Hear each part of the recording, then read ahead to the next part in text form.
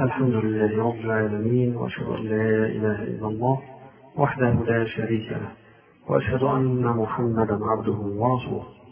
اللهم صل وسلم وبارك عليه وعلى آله وصحابته أجمعين.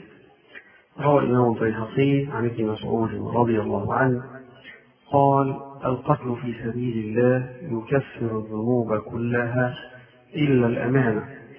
قال يؤتى بالعبد يوم القيامة وإن قتل في سبيل الله فيقال أد أمانتك فيقول أي ربي كيف وقد ذهبت الدنيا؟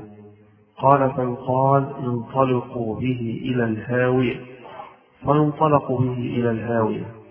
وتمثل له أمانته كهيئته يوم دفعت إليه. فيراها فيعرفها. فيهوي في أثرها حتى يدركها.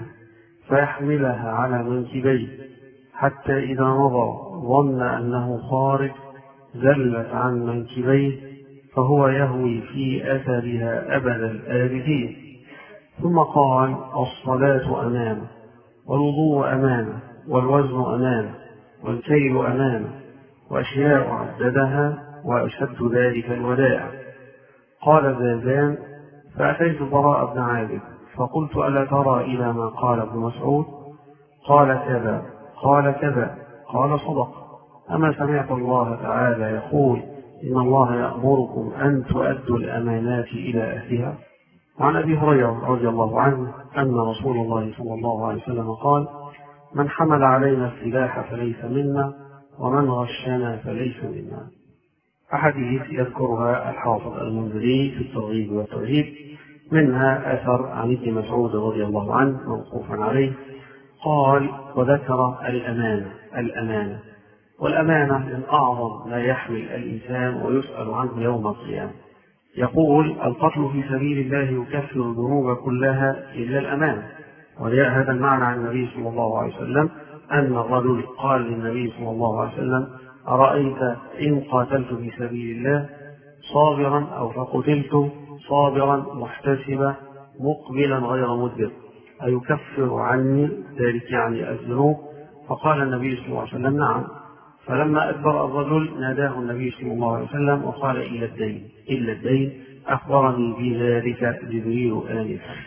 فإذا الإنسان لو أنه استشهد في سبيل الله مقبلا غير مدبر صابرا محتسبا وقتل في سبيل الله يكفر هذا القتل عنه كل الذنوب التي وقع فيها. إلا الدين إلا أن يكون عنده أمانة من أمانات الناس عنده دين للناس هذا لا يكفر عنه والناس تطالب بحقها يوم القيامة ويؤخذ من هذا الإنسان حتى لو كان شهيدا. وهنا يقول ابن مسعود القتل في سبيل الله يكفر الذنوب كلها إلا الأمانة. يؤتى بالعبد يوم القيامة وقد قتل في سبيل الله. فيقال أدي أمانتك. وهذا له حكم مرفوع ابن مسعود ما شافش يوم القيامة ولا يعلم شيئا من الغيب إلا أن يكون النبي صلى الله عليه وسلم أخبره بذلك. فقال يقال أدي أمانتك. الإنسان يؤتى به يوم القيامة والله عز وجل يقول له عليك أمانة عليك وديعة لفلان عليك دين لفلان عليك كذا. أدي هذه الأمانة. فيقول أي ربي كيف وقد ذهبت الدنيا؟ أجيبها منين؟ ما فيش الآن الدنيا ذهبت الدنيا فيقال انطلقوا به إلى الهاوية. انطلقوا به إلى الهاوية. وهذا من أسماء النار والعياذ بالله. تهوي بصاحبها. النار يرمى الحجر من رأس النار فيهوي إلى قاعها لا يصل إلا بعد سبعين عام بعد سبعين خريفا فاسمها الهاوية قعر جهنم والعياذ بالله. فيقال للملائكة اذهبوا بهذا الرجل إلى الهاوية. فينطلق به إلى الهاوية. وتمثل له أمانته كهيئتها يوم دفعت إليه. فإذا به في النار والأمانة أمانة ويقال هذه الأمانة اللي انت أخذتها من الناس.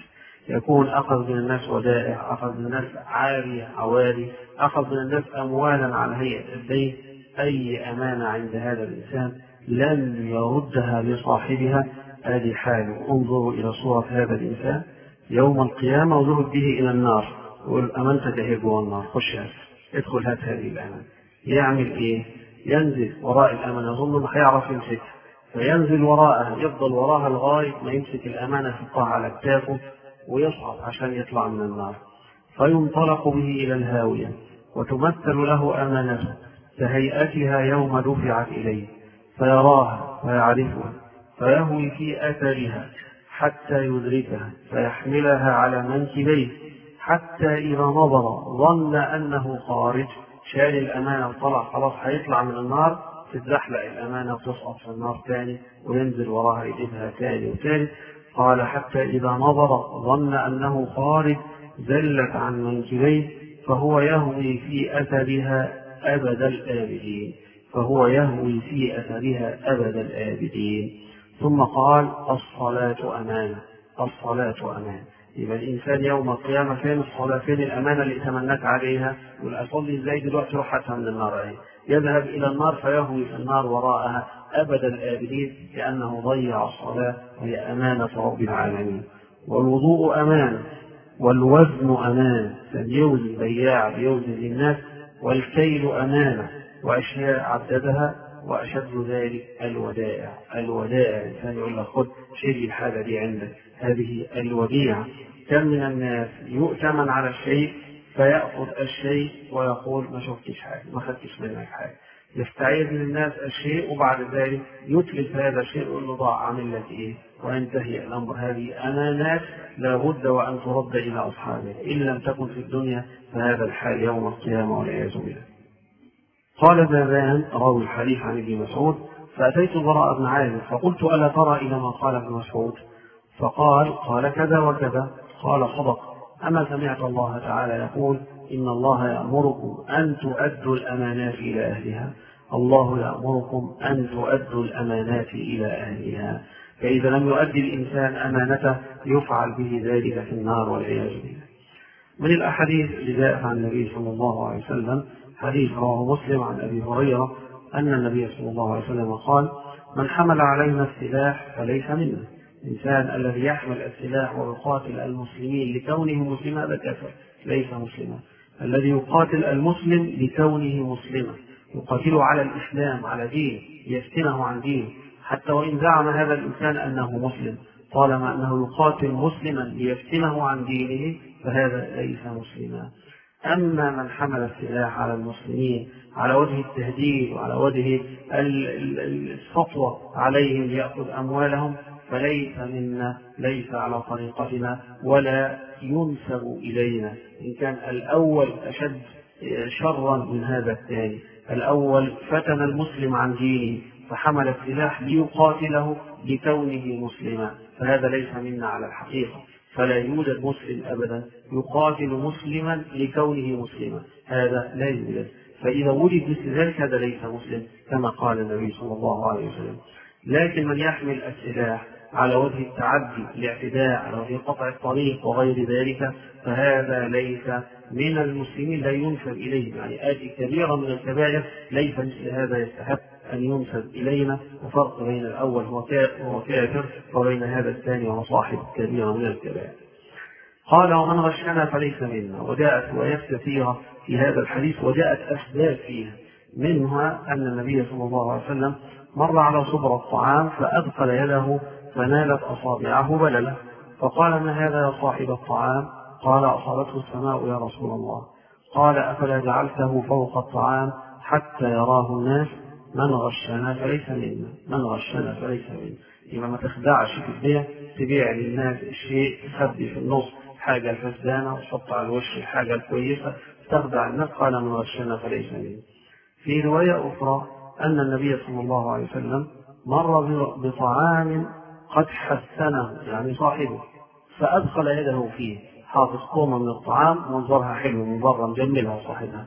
فأدخل يده فيه فإذا طعام رديء لقى جوه شيء وحش جوه هذا الشيء ظاهره حسن. فقال النبي صلى الله عليه وسلم لصاحب الطعام بع هذا على حدة وهذا على حدة فمن غشنا فليس منا. تحب تبيع الطعام ما تلخبطوش على بعض. بيع الرديء لوحده وبيع الطيب لوحده بس هذا له سعر وهذا له سعر من غشنا فليس منا. وجاء أحاديث في أن الرجل كان يبيع رطبا وجعل رطبا بالداخل مبلولا وبالخارج يابسا فقال له النبي صلى الله عليه وسلم ذلك وفي بعض الأحاديث أن النبي صلى الله عليه وسلم سأله ما حملك على هذا؟ ليه نلخبط الحاجة على بعضها كده؟ فقال الرجل إنه أصابته السمع. يعني الدنيا شتت والشتاء من الذنب في ذلك. قال له النبي صلى الله عليه وسلم أفلا عزلت الرطب على حدته واليابس على حدته فيتبعون فيتبعون ما يعرفون. يشتري يشتري الحاجة اللي يعرفها. من غشنا فليس منا. وذكر في حديث آخر لابن مسعود رضي الله عنه من غشنا فليس منا والمكر والخداع في النار. والمكر يعني في بعض الناس عنده فهلوة. يقول لك شفت ضحكت عليه وبعت له السلعه إزاي شفت عملت إيه؟ تعالى اتعلم مني ببيع إزاي واشتري إزاي. انت مخادع انت مكار. مكار مصيرك إلى النار. هذا مصير أهل أهل المكر والخيانة والخداع. ما هو فاكر نفسه شاطر في الدنيا. فاكر نفسه عنده فهلوة. ويعرف يتصرف ويبيع هذا أخرته النار والعياذ بالله. قال النبي صلى الله عليه وسلم والمكر والخداع في النار في حديث آخر المكر والخديعة في النار. مهما يصنع الإنسان من مكر وخديعة حتى يأخذ أموال الناس ما تظنش أبدا أن يبارك في هذا الشيء. لا. وضرب لنا النبي صلى الله عليه وسلم مثلا في الأقوام الذين من قبلنا عشان تعرف ما الذي ممكن يحدث في هذا المال. الإنسان الفهلوي التاجر إلا عايز يبيع الحاجة بأكثر من ثمنها ويفتكر إنه هيضحك على الناس بهذا الشيء. يضحك على نفسه ويخدع نفسه يأخذ هذا المال المحكوم على هذا المال بالضياع. ماله الذي يأخذه محكوم عليه بالهلاك فيأخذ المال هيحصل فيه إيه؟ يبتليه الله سبحانه تبارك وتعالى. يا يضيع منه المال يا يسلط عليه نفسه وشهوته يضيعه في الحشيش والمخدرات يا يبتليه بالأمراض اللي يفضل يصرف يصرف يصرف وما بتروحش الأمراض. يبتليه بفساد في عياله وزوجته يسرقوا منه المال من وراه تلاقي محكوم على هذا المال المأخوذ بالخديعة في في والخديعة والمكر محكوم عليه بالتدبير والهلاك. وشوفوا هذه القصة الصحيحة اللي يرويها لنا أبو هريرة عن النبي صلى الله عليه وسلم. حديث هذا الطبراني أن رجلا كان يبيع الخمر في سفينة الله. وفي رواية أن رجلا ممن كان قبلكم جلب خمرا إلى قرية فشابه بالماء فأضعف أضعافه يعني لعله كان جائزا في ملتهم هذا الشيء أو أنه حكاية يحكيها النبي صلى الله عليه وسلم مش معنى جواز بيع الخمر؟ لكن المعنى أن هذا الإنسان راح يبيع خمرة في قرية. ركب سفينة وسافر لهذه القرية نزل في القرية الخمرة وجد اللي عايزين يشتروها كتير راح يزودها مي. نحط أضعاف منها بالماء وباعها للناس وأخذ المال. لما أخذ المال قال لنا النبي صلى الله عليه وسلم لأن رجلا كان يبيع الخمر في سفينة الله ومعه قرد في السفينة. مع خمرة ومع قرد جمع الشر كله معه. باع الخمرة غشها للناس وأخذ المال حصل إيه؟ كان يشوب الخمر بالماء فأخذ القرد الكيس وفي في رواية فاشترى قردا فركب البحر. يعني اشترى هلاكه معه. حتى إذا لدج فيه دخل في نص البحر جوه في مكان ما يعرفش ينزل فيه ألهم الله القرد صرة الدنانير فأخذها. أنا جاي وقت بقى إنه الحسرة حسره على ما صنع. ضحكت على الناس وخدت أموال الناس. طب راس مالك كام؟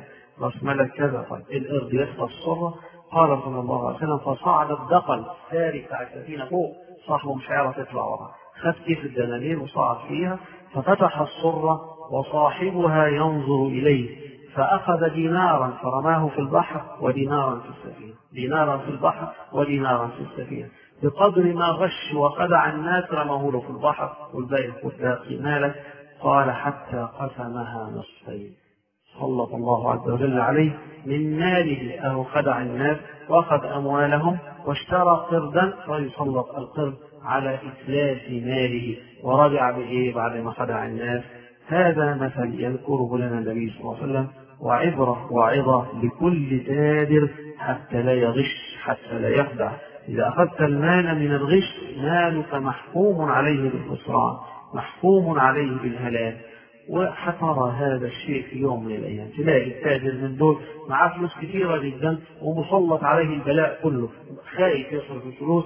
ألا في مرض محتاج لكذا ألا في العيال في كذا. الفلوس بتسرق منه. مش عارف بتروح فين؟ من هذه القصة وأمثالها تعلم أصحاب النبي صلى الله عليه وسلم الأمانة. وتعلموا من النبي صلى الله عليه وسلم ألا يخدعوا احدا في شيء. وخاصة وقد قال النبي صلى الله عليه وسلم لما قدم المدينة تلا عليهم ويل للمطففين. كانوا قبل مقدمه صلى الله عليه وسلم أخبث الناس بيعا يبيعون يطففون في الكيل والميزان. لما قدم ونزلت سورة المطففين بطلوا هذا الشيء وامتنعوا من تخسير الكيل والميزان. يروي أبو سباع يقول اشتريت ناقة. الحديث هذا عند الحاكم والبيهقي. يقول أبو سباع اشتريت ناقة من دار واسلة ابن الأسقع واسلة صحابي فاضل رضي الله عنه. الدار عندهم زي ما إحنا نقول الآن العمارة. العمارة كذا شقة فوق بعض لكن الدار حاجة أفقية بيوت جنب بعض يجمعها حوش واحد هذه الدار. الدار هذه اللي ساكن فيها واسلة ابن الأسقع فيها جملة بيوت.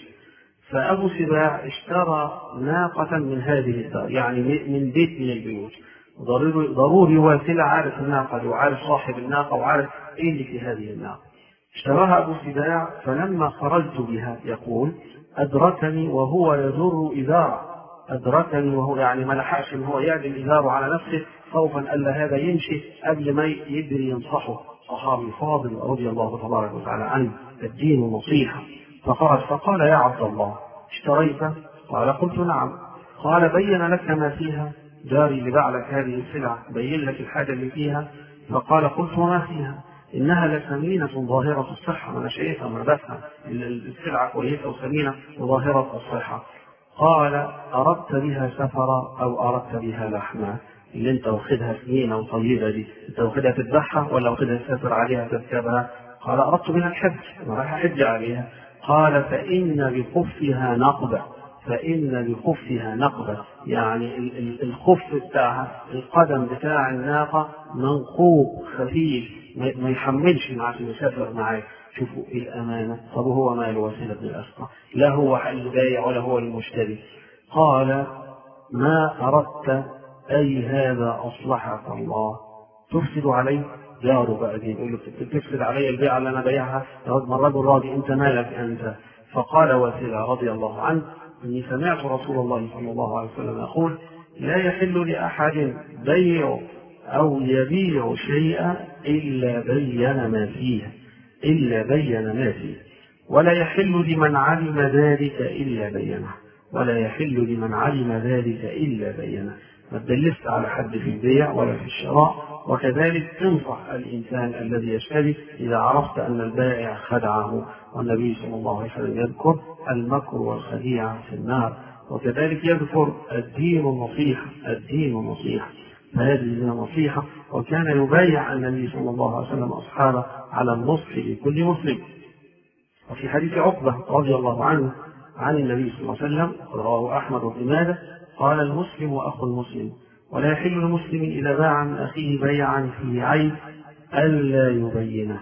تبيع بيع والبيع فيه عيب ما تدريش ما تكتمش وثق في أن الله يبارك لك. إذا ما اشتراهاش ده يشتريها الإنسان آخر. ما اشتراهاش لا ده ولا الثاني يبارك الله عز وجل لك في مالك ولذلك قال لنا النبي صلى الله عليه وسلم البيعان بالخيار ما لم يتفرقا. فإن صدقا وبينا بورك لهما في بيعهما. وإن كذبا وكتما محقت بركة بيعهما. بالكتمان والكذب في البيع تضيع بركة البيع. لذلك لما تتعامل تعامل مع الله سبحانه وليس مع الناس.